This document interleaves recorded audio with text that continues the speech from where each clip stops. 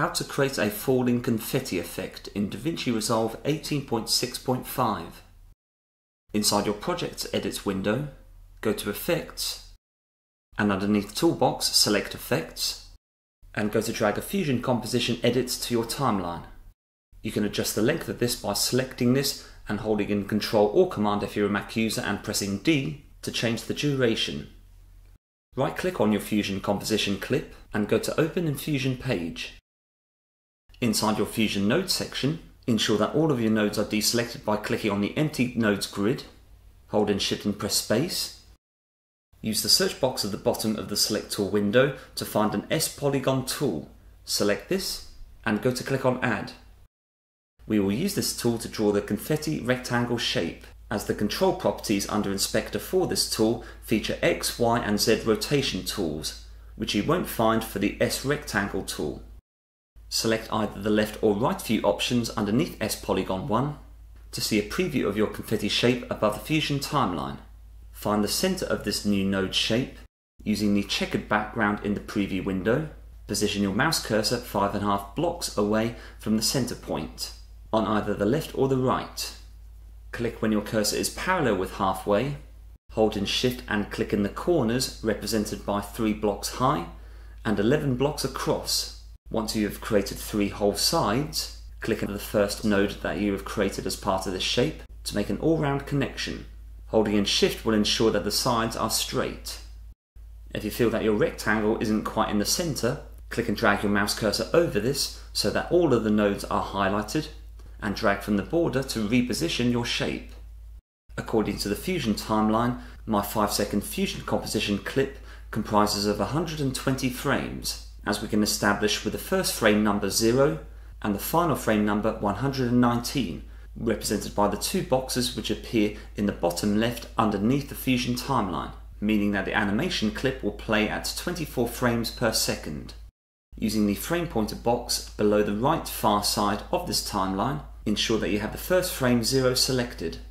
Go to Inspector and underneath Controls, find the X, Y and Z rotation attributes. Click in the keyframe diamond icon for all three of these variables. The aim is to apply full 360 degree turns to each of these angles to create the animated floating confetti effect. In order to add some variance to its movement, I will have each of these three properties complete a full 360 degree turn at different stages of the animation. I will skip forward one second into my animation clip by entering frame 23 and I will add 360 to X rotation to apply a rotating horizontal effect. I will skip forward now by half a second to frame 35 and will apply the same 360 degree value to Y rotation. And finally I will go forward by half a second once more, this time to frame 47 and add 360 to Z rotation to have the confetti shape rotate around in a circular fashion. At present, all three of these rotations will occur once. In order to make this animation effect loop, go to Spline. In your Spline graph area, tick the S Polygon 1 box and readjust the top zoom settings to see the keyframe markers on your graph, to see the keyframe blocks appear where we previously changed the value for the rotation tools. Click and drag your mouse cursor over these blocks so that they are all highlighted and go to click on Set Loop underneath this graph so that your confetti is always rotating regardless of the length of your fusion composition clip. Click on Spline again to close this graph. With S Polygon 1 still selected, hold in Shift and press Space. To have DaVinci Resolve process this shape, we need to add a render tool called S Render, which should be automatically connected to S Polygon 1. Now go to add a P emitter tool using the options above the nodes grid. With this tool selected, go to Inspector and underneath Emitter, I will reduce the number of confetti particles from 10 to 2. To add slight variance to the number of confetti particles that appear, I will increment the number variance value slightly to 0.01. To ensure that the confetti shapes don't disappear abruptly, I will increment the lifespan from 100 to 150. And to vary the starting position of the particles slightly, change temporal distribution from all at same time to randomly distributed. Open up the velocity properties to have the confetti float at a gentle speed, increment velocity to 0.1. To add alterations to the speed in which the confetti particles fall, change velocity variance to 0.01. To ensure that the confetti particles float downwards, change angle to minus 90.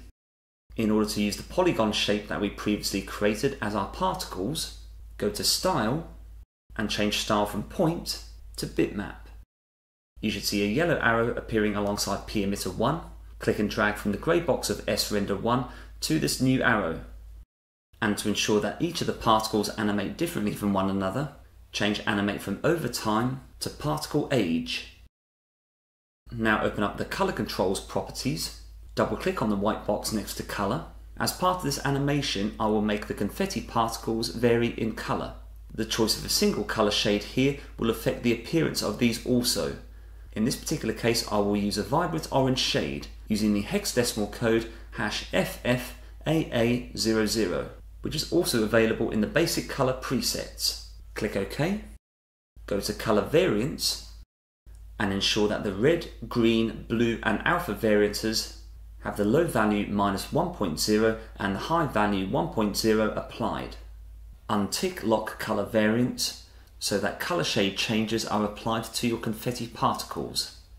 Go to size controls, adjust the size of your overall particle. Here in this case I will reduce this slightly to 0.065 and again for variation purposes, in order to have the particles appear differently to one another slightly, I will increment size variance here to 0.02. To have the particles float from the top of the screen, go to Region, change region from sphere to line, scroll up to see the edge of your canvas, set Start X offset to minus 0.5, and set Start Y offset to 0.32. For end, change end x offset to 0.5 and end y offset to 0.32 so that the line is positioned just above the canvas to avoid any of the confetti particles abruptly appearing in the top section of your video clip. With P emitter 1 still selected, hold in shift and press space and go to add P turbulence. To enhance the horizontal turbulence strength, I will increment X strength slightly to 0.15 to have the particles shift sideways slightly as they fall. And to increase the strength of the Y vertical turbulence slightly, I will increment the value for Y strength to 0.11. With P turbulence still selected, go to add a P render tool from the nodes options above the grid. Click on the grey box alongside P render 1 and drag your mouse cursor to the arrow alongside media out 1 to make a connection and to ensure that your animation effect will appear in playback. Bear in mind there is also transparency around the particle effect, enabling you to place images and videos behind this in your project file. Thank you very much for watching, I hope that video was useful to you. If you enjoyed the content and wish to be notified about future uploads on this channel, please like, share and subscribe. Join me soon for another video, take care.